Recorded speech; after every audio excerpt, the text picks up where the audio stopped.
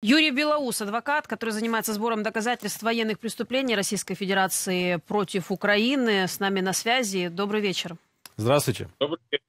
Добрый, добрый. Вот мы сейчас говорим, услышали о том, как говорят об уважении к праву. Мы прекрасно понимаем, что Россия это право международное не уважает и всячески старается э, выйти из всех международных организаций, чтобы еще больше показать свое отношение к международному праву. И мы говорим о тысячах, десятках тысяч зафиксированных, 40. Я не знаю, на данный момент вы сейчас скажете, какая точная сумма. Наверняка она есть точная, но это не окончательная сумма преступлений в российских военных в, на территории Украины. Так как же вы видите э, это этот э, справедливый суд, это все-таки больше символичный момент, когда ответит верхушка и ключевые э, люди, которые отдавали приказы, либо вы видите действительно возможность благодаря Международному суду, благодаря всем доказательствам собранным, что каждый, кто так или иначе причинил э, горе украинским семьям, сядет на скамью подсудимых? А, первый момент это больше 70 тысяч зарегистрированных военных преступлений. Да? Больше 70. То есть там уже 40, это было давным-давно, это все перевалило.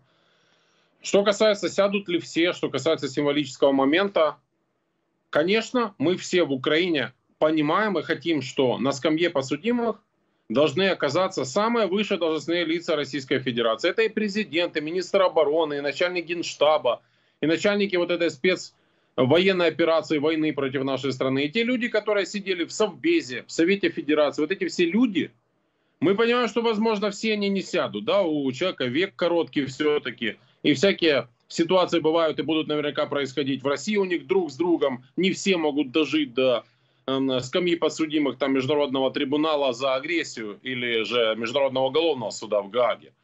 Но мы хотели бы, конечно, все увидеть их там. А что касается тех солдат, которые совершали преступления на территории нашей страны, тоже, опять же таки, конечно, э, очень многие из них уже никогда не вернутся на территорию России, они никогда вообще не покинут территорию нашей страны ввиду понятных причин, ввиду работы нашей армии. Я уверен, что большое количество российских солдат просто там, на территории их страны, сопьется и будет влачить жалкое существование в пределах какого-то региона. И возможно, таким образом им удастся именно вот э, э, избежать именно меча правосудия или международного, или украинского. Но большая часть людей, которые россиян, российских солдат, которые совершала в нашей стране военные преступления, она имеет все шансы попасть на скамью подсудимых или в Украине, или в самых разных государствах по механизму универсальной юрисдикции. Да, я напомню, что этот механизм означает, что преступники, которые совершили международные преступления, а это военное преступление, геноцид, преступление против человечности, агрессия, преступление против мира, как его назвали на Нюрнбергском трибунале, они ни в какой стране не могут находить тихую гавань, то есть где-то спрятаться, избежать э, правосудия в Украине или, возможно, после смены режима в России, в любой другой стране мира им не удастся. И, конечно же, это международный уголовный суд, который находится в Гаге, который работал, работает и будет работать, для которой, собственно, и создали для того, чтобы он постоянно, как вот обычно действующий суд, работал, садил на скамью подсудимых за самые серьезные преступления самых серьезных руководителей во всех государствах. То есть вариантов для того, чтобы российские военные преступники сели на скамью подсудимых, их несколько. Это и Украина, это, кстати, важно понимать, это и Россия в случае изменения политического режима, и такое возможно. И у них в том числе в стране есть статья за военные преступления, за преступления агрессии.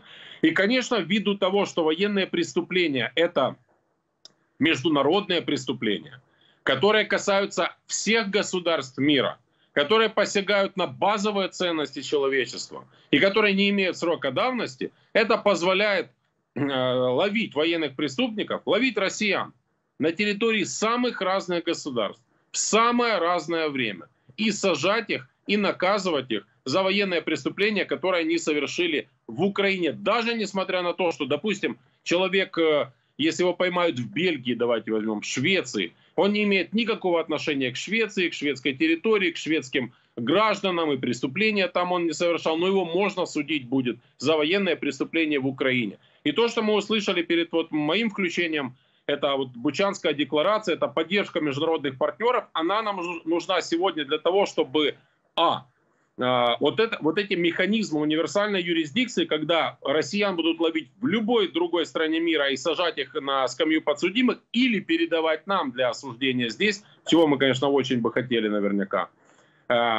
Вот эта поддержка нам нужна в этой работе, чтобы их ловили и садили. Нам нужна поддержка специального трибунала а, создания вот за преступление агрессии. Это поддержка и политическая, и дипломатическая, и юридическая, и, конечно же, финансовая. Нам нужна поддержка всех государств-участников Римского статута, Международного уголовного суда для того, чтобы Путина, и явно этот ордер, кстати, будет еще дополнен другими фамилиями, другими преступлениями, так вот, чтобы тех лиц, которые в этом ордере а, окажутся, кроме Путина и кроме Марии Львовой, чтобы их во всех государствах 123 участниках Римского статута ловили и тоже садили на скамью подсудимых. И, кстати, Международный уголовный суд, вот этот ордер на арест Путина, да, мы все говорим, все 123 участника должны его арестовать и отправить, а, а мол, все остальные страны, вот туда он может там ездить куда-то в условную Беларусь или Казахстан.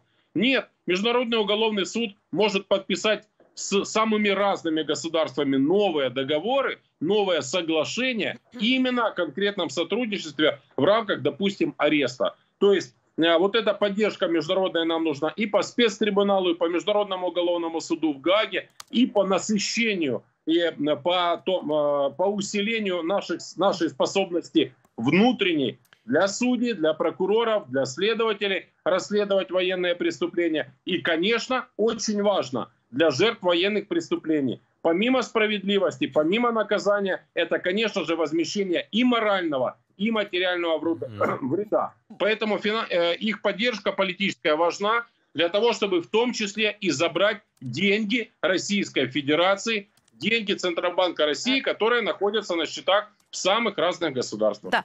Юрий, вот вы как раз сказали про наказание. Вот я сейчас думала, да. как же правильно этот вопрос задать. Вы тут вспомнили про тихую гавань, в которую не возвращается. Но на самом деле про верхушку понятно, имеет что терять. Э, не зря же э, сколачивались миллиарды и вывозились из страны, либо цементировались там, на территории Российской Федерации, чтобы было что терять.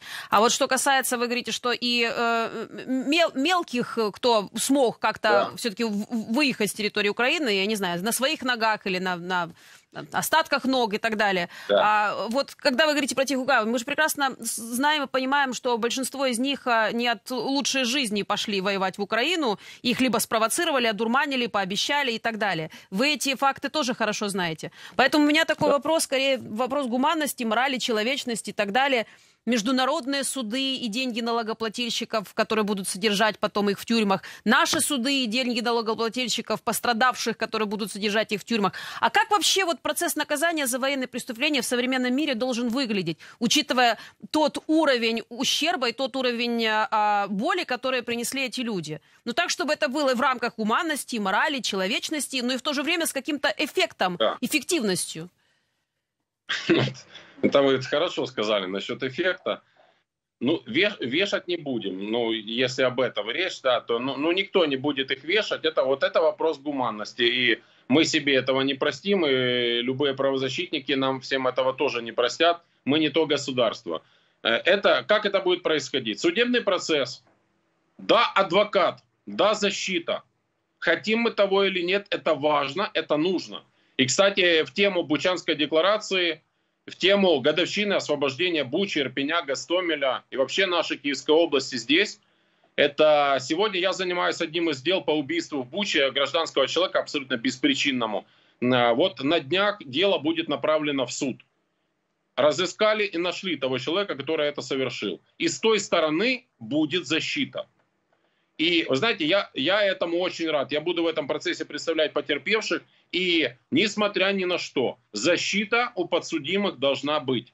Процессы должны быть справедливыми, процессы должны быть состязательными, и приговоры должны быть обоснованными. И приговоры это, опять же таки, не смерть через повешение, это реальные сроки лишения свободы вплоть до пожизненного заключения. У нас в стране за военное преступление предусмотрено максимальное наказание в виде пожизненного лишения свободы. Поэтому, если доказали, если это связано с убийством, вполне спокойно российский солдат получит в Украине пожизненное заключение. И дальше там будет разбираться, куда его или передавать куда-то судить, или он здесь до конца своих дней будет находиться. А в Гааге тоже Международный уголовный суд, это тоже максимальное пожизненное, там если, если считать по срокам, это ну, и исчислять, если по цифрам, то это 30 лет лишения свободы. Вот э, поэтому судебный процесс нужен, защита нужна. И поверьте, мы в состоянии в Украине наказать их честно, справедливо и на основании э, такого э, всестороннего судебного процесса. Это возможно сделать. У нас большое количество людей в этом направлении работает, мы растем, мы становимся профессиональнее в этой сфере все, потому что мы все, по сути, здесь оказались новичками э, в начале 2022 года. Вот поэтому эта процедура будет происходить так. Судебный процесс. А все то, что остается на поле боя, это поле боя, это война. Они совершили незаконное применение силы, они агрессивно вторглись, вопиющее нарушение устава ООН, почему мы получаем том числе такую колоссальную поддержку и военную, и дипломатическую, политическую, и на уровне ООН в марте 22 года 140 или 141 государство осудило российскую агрессию. Вот там на поле боя они получат свое, а, как, а те, кто э, уже доживут до скамьи подсудимых, до следствия, до суда, судебный процесс.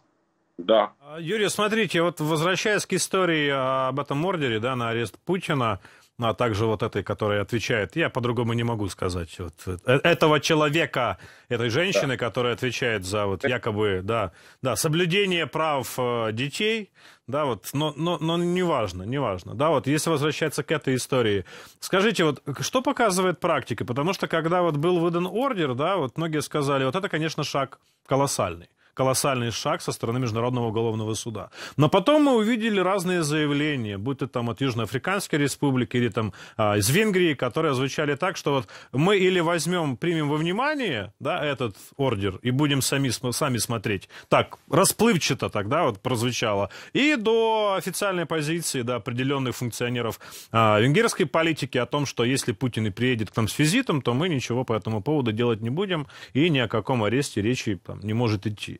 Да, вот, а скажите, mm-hmm. что-то предполагается тем странам, которые но признают юрисдикцию МУС, да, вот этот ордер, римский статут и так далее. Вот можно на них как-то повлиять в этом плане?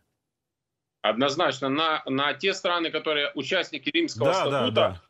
то есть мы говорим те, кто поддерживает работу Международного уголовного суда в Гааге, конечно, на них не просто можно влиять, на них нужно влиять и на них будут влиять. Просто важно понимать, да, у нас вот э, я бы призвал к тому, чтобы мы не смотрели на это так, знаете, с таким больш, с большой долей скепсиса, вот, потому что какой-то венгер там из офиса премьер-министра что-то там сказал, э, и якобы это все, это не будет работать ордер на арест Путина. И в ЮАР там они начали тоже какие-то разговоры. Этот ордер вот на арест Путина, да, это беспрецедентно. Это на самом деле, знаете, Международный уголовный суд, он пошел в банк он пошел на самый верх, и это можно только приветствовать. Это говорит как раз о серьезности намерений Международного уголовного суда и о серьезности доказательств, которые, э, с которыми они работают. И это говорит о том, что и мы здесь все внутри хорошо работаем, и наша СБУ, и наша прокуратура. Кстати, это очень немаловажно сказать. И этот ордер, он сам по себе не живет. Да? Это рядом и политика, и дипломатия, и самое разное влияние этого ордера тоже есть. То есть он не находится узко в юридической плоскости. Да, вот есть ордер, его нужно арестовать, доставить и дальше расследовать и судить президента Путина и эту э, женщину, как мы с вами ее назвали, Марию Львову Белову.